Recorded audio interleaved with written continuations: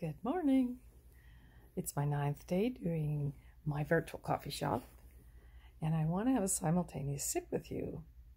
I also have a scone here.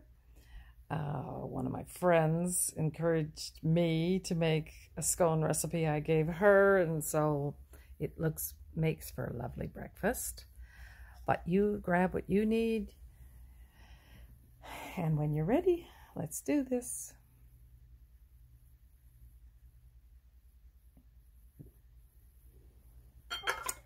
Okay, there's my scone.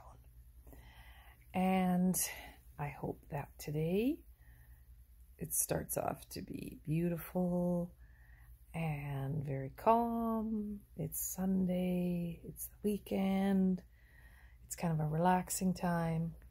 And may your the rest of your day be glorious and that you have um, an easy